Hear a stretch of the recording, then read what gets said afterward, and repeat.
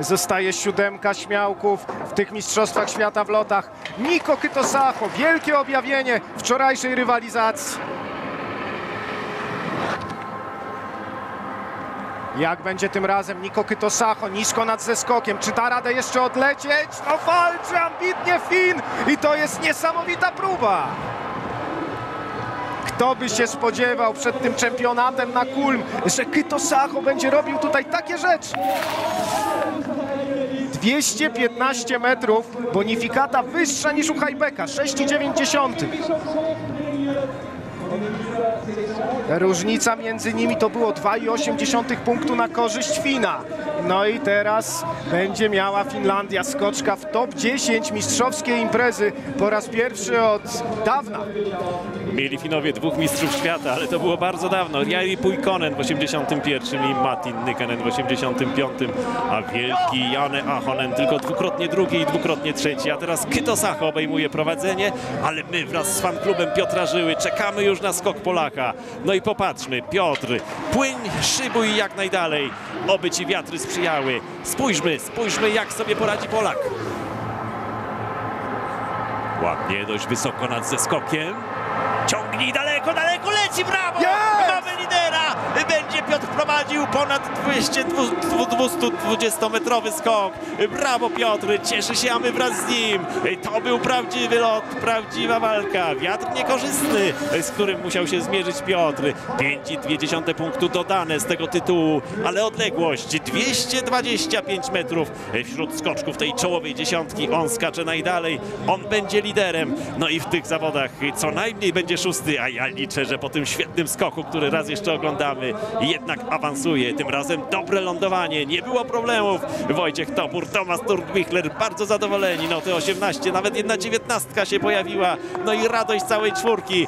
Piotr Żyła liderem, 626,4 punktu. Duża przewaga, 12,5 nad Niko Kytosacho.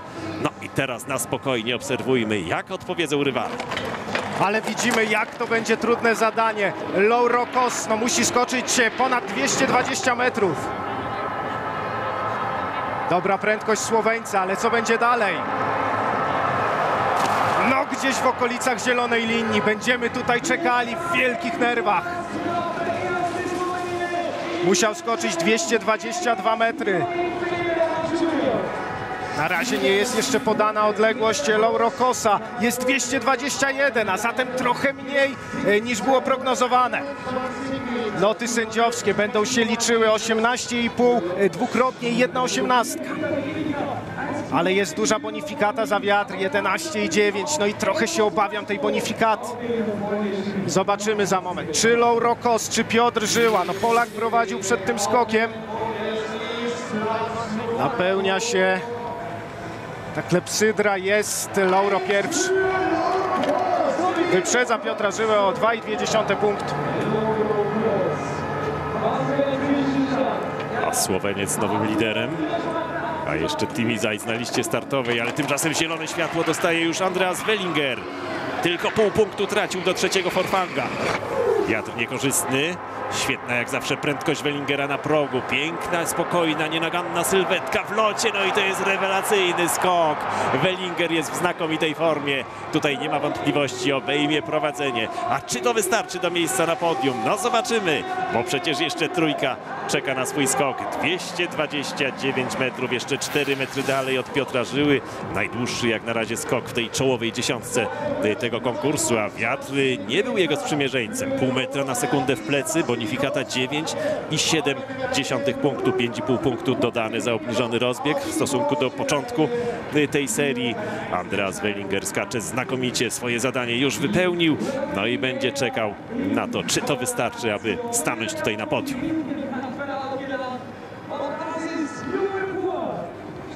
No, zadowolony Stefan Horngacher liczy, że da to medal. Jest też Filip Raimund. Niemcy w komplecie tutaj przyszli, aby dopingować się nawzajem, aby dopingować Andreasa Wellingera. Potężna nota łączna 645,2 punktu. Wellinger zrobił już swoje. Johan Andre Forfang. Zaczynamy walkę o medale Mistrzostw Świata w lotach. Płynnie wyszedł z progu Forfang. Co się teraz wydarzy? Wysoko nad zeskokiem, ale zabrakło do zielonej linii. Wellinger ma medal. No, Forfang to zawodnik, który często, gdy pojawia się presja, no to sobie nie radzi. I chyba trochę tak teraz było. No on jest załamany. 217 metrów.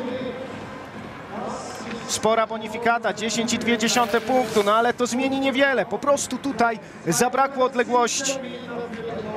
Tak, warunki miał podobne do tych, których skakał Wellingera, jednak wylądował aż 12 metrów bliżej. I spadnie, spadnie w klasyfikacji zmagań Johan Andre Forfang. Zobaczymy, które będzie zajmował miejsce. No widzimy, załamany jest sympatyczny Norweg, urodzony w Tromso na północy swojego kraju. Będzie drugi, no i prawdopodobnie tak jak 8 lat temu tutaj na Kulm w Mistrzostwach Świata, prawdopodobnie tuż za podium na miejscu czwartym. No i pozostała nam już tylko dwójka i znów tutaj powiewają te czerwono-biało-czerwone austriackie flagi. 18,5 tysiąca próbuje dmuchać pod narcy, ten zaklinać ten wiatr. No i Andreas Withelc czeka, aby tutaj dać sygnał chorągiewką. Wiatr, jak widzimy, z tyłu, niekorzystny. No i Stefan Kraft rozpoczyna walkę o Mistrzostwo Świata w lotach. 225 metrów na razie potrzebuje, aby wyprzedzić Wellingera. Delikatny balans ciałem po wyjściu z progu. Nisko dość nad zeskokiem. Leci Kraft daleko. I to był dobry skok. Okolice zielonej linii. No poza 220 metrem ląduje. Cieszy się mama, cieszy się tata. Tam najbliższa rodzina, jak zawsze na zawodach w Austrii dopinguje Krafta. Gratulują koledzy. 228 metrów. No tyle mniej więcej potrzebował, aby wyprzedzić Wellingera, który skoczył y, w nieco gorszych warunkach 229. No i zobaczymy. Czekamy teraz na uwzględnienie tych wszystkich pomiarów. Wysokie noty dostaje y, Kraft. To są trzy dziewiętnastki, dwie dziewiętnaście i pół. Wellinger uzbierał 57, czyli pół punktu więcej na notach zyska Kraft.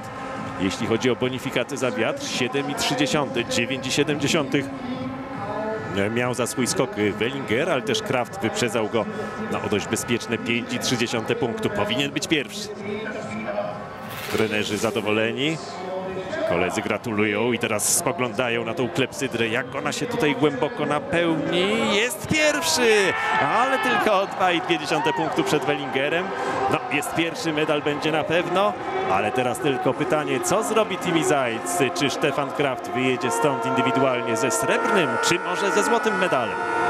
Jest niepokój w oczach słoweńskich kibiców. Oni wiedzą, jak wiele zrobił tutaj Stefan Kraft. Stefan Kraft będzie spoglądał z dołu skoczni, a na górze zielone światło. Timi Zajc! Rusza, jest mistrzem świata na dużej skoczni z zeszłego roku. Czy zostanie mistrzem świata w lotach? Timi Zajc wysoko nad zeskokiem, ale czy doleci na sam dół? Nie! Przed zieloną linią ląduje! No wielki tutaj aplauz, radość Austriaków, no bo oni myślą, że wygra Kraft i wszystko na to wskazuje. Timi Zajc nie dowierza, 209,5 metra tylko. Wiało w plecy, 16 punktów bonifikaty. No ale co z tymi punktami zrobić, skoro odległość tylko 209,5 metra?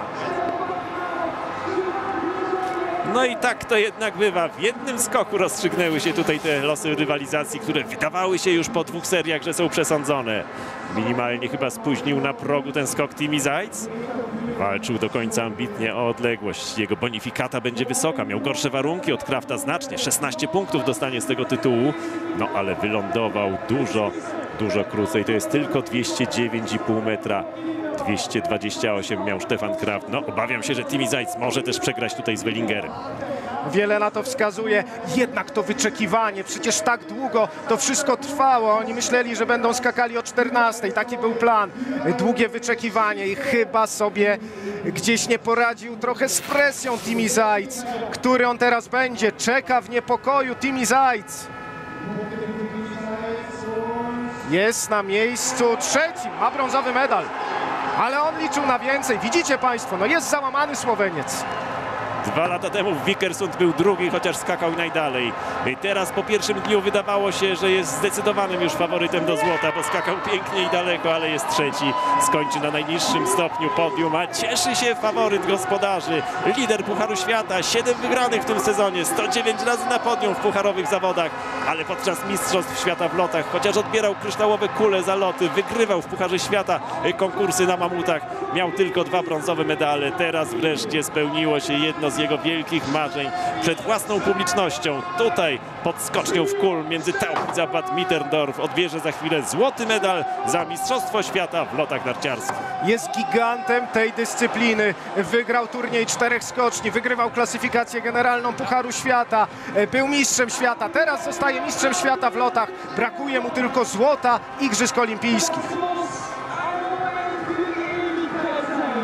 Wielka euforia tutaj, czekali długo kibice.